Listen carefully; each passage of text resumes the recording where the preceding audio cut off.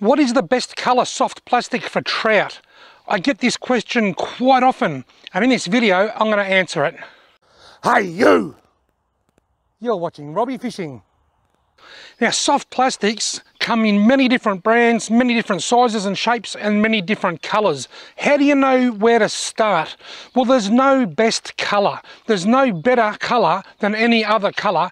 It's all about what's going to work well on the day. I've got my go-to colours which are the colours that I go to to start with or the colours that I'll go to if what I'm doing isn't working. I call them go-to colours.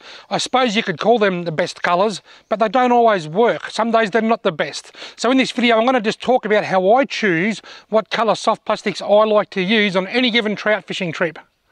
Now, let me just start by telling you, I've just come off a trout stream about an hour ago. I've been fishing with soft plastics and I started off with this.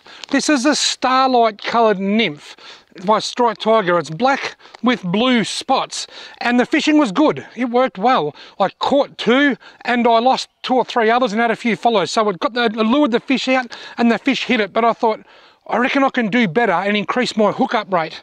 So I then went to this colour, which is black and gold. It's the same as this, but it's black and gold instead of black and blue. But I went to the nymph. That's a different, I haven't got, I haven't got any left in that colour. So that's a, uh, a T-tar, but I went to that colour but in the nymph and what I found was the fish were still following it but they weren't hitting it and I didn't catch any I didn't even get any real hookups so I thought I'll try something different again and I went to this this is a a leech in coffee colour, so it's a sort of brown coffee coloured leech, and I caught nothing. I have had some ripper trout fishing sessions with this soft plastic, but today, nothing. No follows, no hits, didn't lure any fish out, so I went, good, okay, bad. So I went back to that, the uh, the Starlight, and I caught a couple more trout and had a few other follows. So while the Starlight wasn't perfect, it was the best on the day. And while the coffee coloured nymph didn't work really well, that has been the best on the day for me in the past. So that highlights how color colors of soft plastics can vary so much from day to day. Now how do i choose which soft plastics to start with on any given day? How do i know which color to start with? It's a combination of knowing what's already occurring naturally in the environment and also having my favorites my go-to colors for example, in March and April, there's a lot of crickets around, so any of the blacks will work. The black and blue, which is Starlight, or the black and gold, they'll all work really well. In May, May and early June, just before the season closes, the crickets have all gone, the March flies have gone, there's not a lot of black around. Something like an orange might be a better option. I'll see if I've got one here to show you. Something like that might be a better option. That's actually called trout roe colour because that time of the year the trout are spawning and trout eat trout eggs. They're cannibalistic.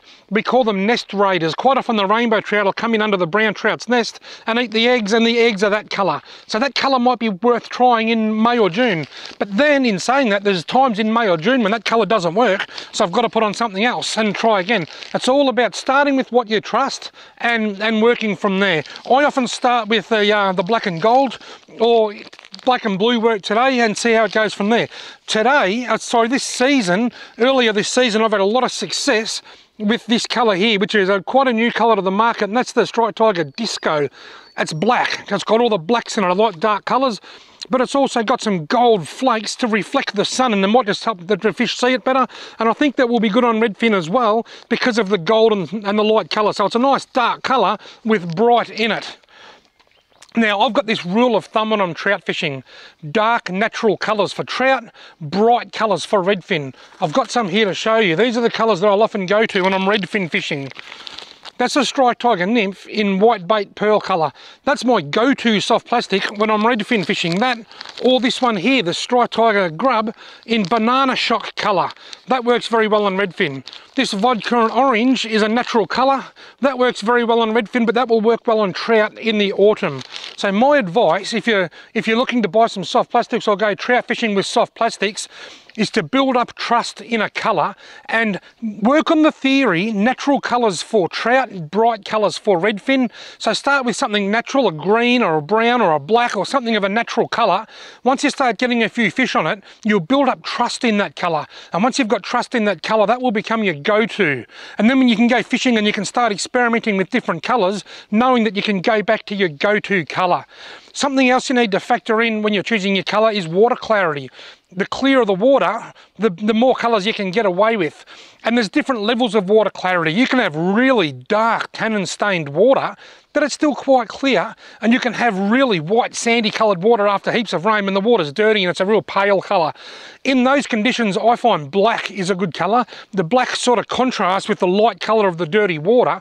And in the clearish, in the water that's cloudy but reasonably clear, I like black because, or any dark colours, if the trout, if I'm fishing the soft plastic just under the surface and the fish look up, the black is going to silhouette against the sky. It's going to silhouette against the sky better than the light colours. So while it might seem that the light colours might work better in dark water, quite often the jet black or the really dark solid colours can work really well. But once again, that doesn't work. Try a light color. There's no, there's no right or wrong. There's no best. There's a best on the day, but there's no overall best. There's a right on the day, but there's no overall right and wrong. So here's a couple of short takeouts for you when you go out soft plastic fishing with trout. Stick with a color and try and build up trust in that colour. For me, the first colour that I ever used was a black and gold, black and gold nymph, and I built up trust in that, and that became my go-to colour, just like the whitebait pearl has for redfin. They're my go-to colours. I've built the trust up. I know they're going to work when all else fails, and then experiment from there, and then work on the basic theory that trout like natural colours, mud eyes, nymphs, minnows, tadpoles, they're all dark natural colours. They're not bright, leery colours. Redfin, however, they'll, they'll hit a lure quite often out of curiosity. So bright things with a lot of bling, things that rattle, things that are bright, things that are unnatural work better for redfin.